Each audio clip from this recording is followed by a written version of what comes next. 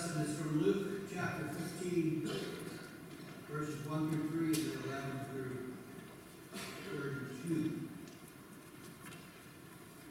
Now all the tax collectors and sinners were coming near to listen to him, and the Pharisees and scribes were grumbling, saying, This fellow welcomes sinners and eats with them.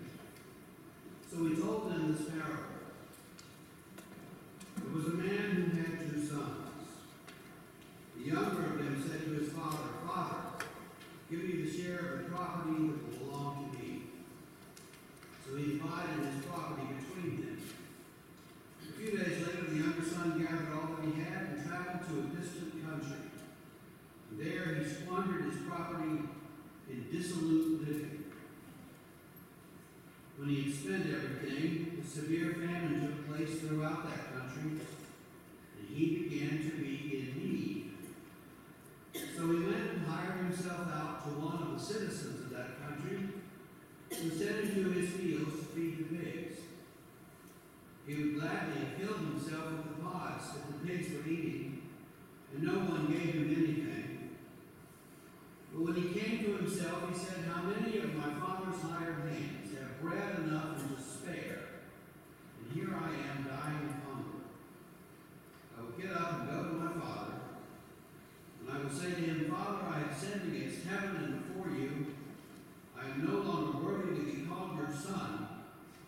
Treat me like one of your hired hands. So he set off and went to his father. While he was still far off, his father saw him and was filled with compassion.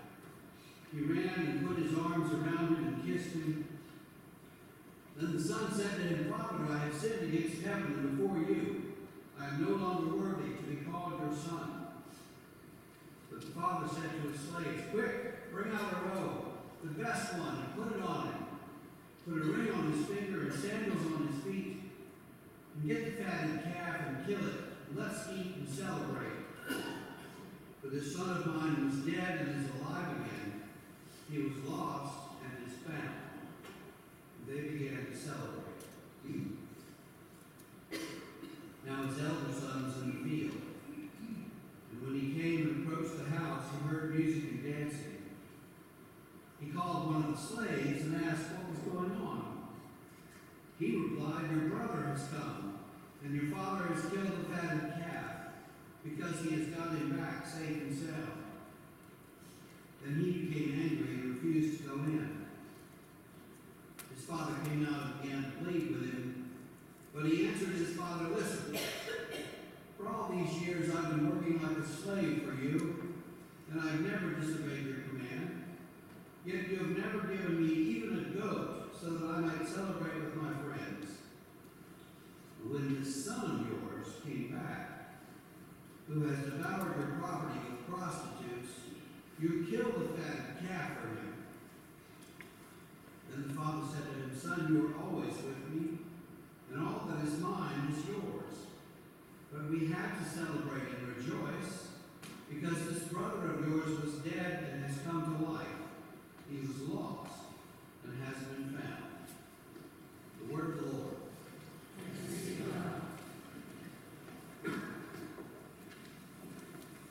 So we know the story. The man had two sons. The younger asked his father to divide up his estate, essentially to declare himself dead and let the sons have the goods. And the father agrees to this, and so the young man takes off to a far off place with his share of the cash. He wastes his money on booze and women, and then he comes to himself. He's reduced to living with the pigs. He remembers how well his father treated the servants, and he resolves to go home and ask his father to treat him like one of those. We've heard this story often. We know exactly how we're supposed to react. We are the prodigal son. We took the father's gifts and went off to a far country, there wasting our substance and loose living. Only we didn't.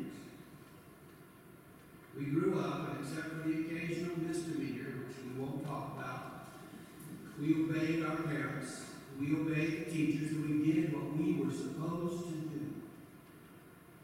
We got an education, we got training, and we worked respectably in our, in our careers ever since then. We're much more like the pouting older brother than the younger one. For many of us, the truth is, the prodigal son is not a very good model. We haven't lived that life. And when the younger son got home, he can't even give the speech that he's rehearsed out of his mouth. The father is already busy giving orders. And a great party follows.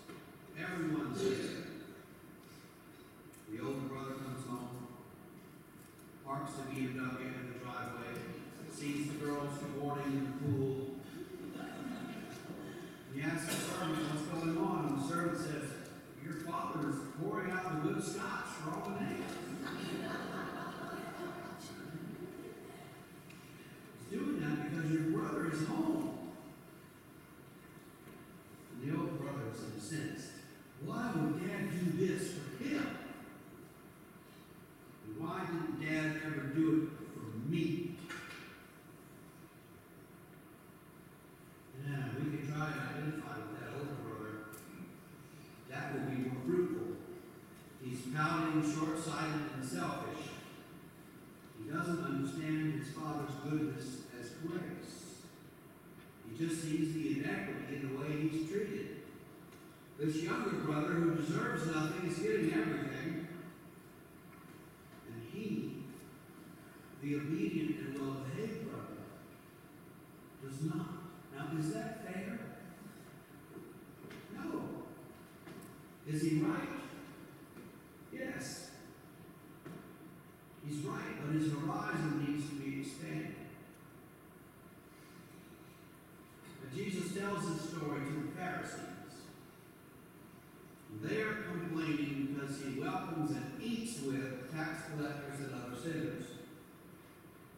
And sinners and tax collectors are bad, un- unacceptable people. And if Jesus is righteous, why would he be seen sitting with those people? And Jesus tells three parables by way of answer. This one is the third. The other two are the parable of the lost sheep, where the shepherd leaves 99 sheep and goes to search for the one that's lost. And the parable of the lost coin, where the woman turns her house upside down looking for the one silver coin that she can't find. And all three of these parables point in the same direction. God rejoices over the lost sinner who repents. In other words, God is more concerned with the sinners than with your righteousness. That is highly offensive to the Pharisees.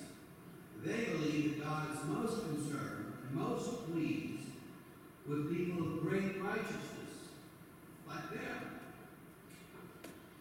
They believe that they are the chosen people and they reject all the others. So when they heard this parable, they identified immediately with the older brother. Of course, he has cause to be upset. The father is behaving in an irresponsible, prodigal way. That is not how God acts and treats his faithful Pharisees. Jesus says, yeah, it is. That's what God does. God is a prodigal father, lavishing grace on those who don't deserve it. Does God give grace to those who don't deserve it? That sounds unfair, but God gave us grace. Do we deserve it? We think we do. We probably all said no, but in our hearts, from day to day, caught off guard and asked, we believe we're pretty good, and we believe we deserve God's grace. We're like that older brother. But the reality is that we don't deserve God's grace. We are sinners. And Jesus was Pharisees their sin and showing us also. We don't deserve the grace of God, and our thinking that we do is simply an indication of how dim our vision is. But if God gives grace to those who don't deserve it, and if we are those who don't deserve it, then we are the ones to whom God gives grace. The pardon is given for us. So we need to drop our defensive judgments and enjoy the fun before all the barbecues eaten. That's the center of the gospel. Grace is truly, radically, prodigally free. There are no strings attached. There are no requirements. God is sovereign, and God decides who He will give grace to. God decides to lavish grace on us.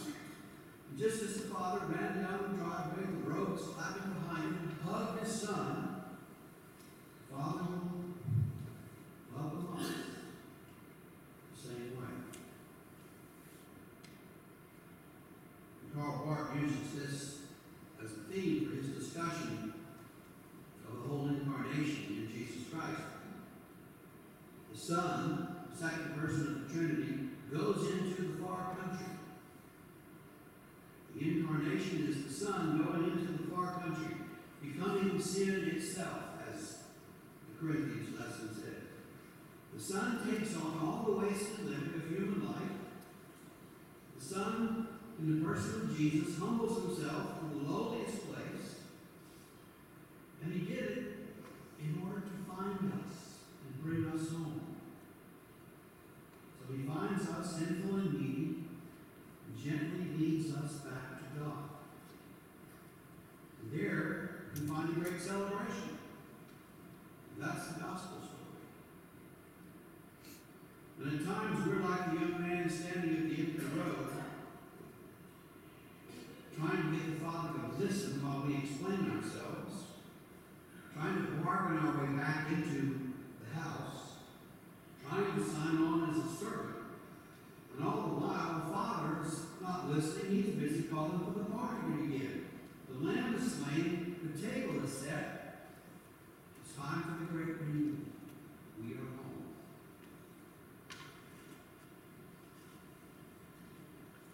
There times we're like the older brother. We're standing there with our mouths hanging open in disbelief, wondering how the Father could do this. How can God accept those people and forgive that sin and do those miracles? Doesn't God know what He's doing? Yes, God does. The older brothers among us, and we are legion, have been to our own far country. We haven't traveled all that far, but even so, we've been far from home. Alone, bitter, and dried up. God says, join the party, come to the table, and opens our eyes to see that we too are home. So at times we're like both brothers. So ask yourself from what are you running? What takes you away from home? What takes you away from, from God? In what ways are you like the younger brother needing to repent? You can be honest. God already knows. In fact, God already offers you the grace in Christ. It's free, so take it. Or think about your older brother self. What boundaries, what limits have you drawn around God's grace? God's grace is free and freely given to every corner of creation.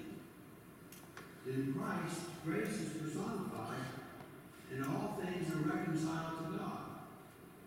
Even legalistic older brothers are reconciled to God. And we all do it. We all have prejudice and bitterness. We all have those times when we are pretty sure we're better than everyone else.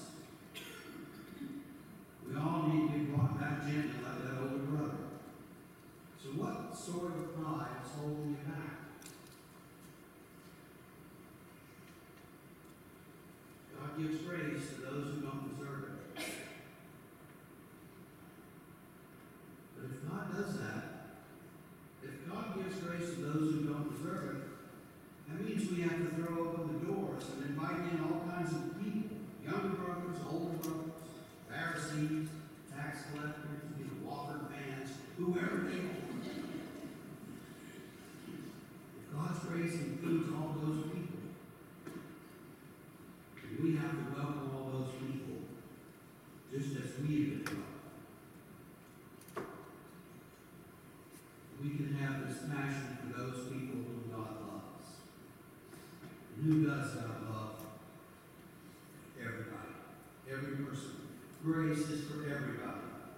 So the mission of Jesus is to go to the far country and find those who sit in the messes of their lives and bring them home. It isn't always what we want to do, but our calling is to go with them.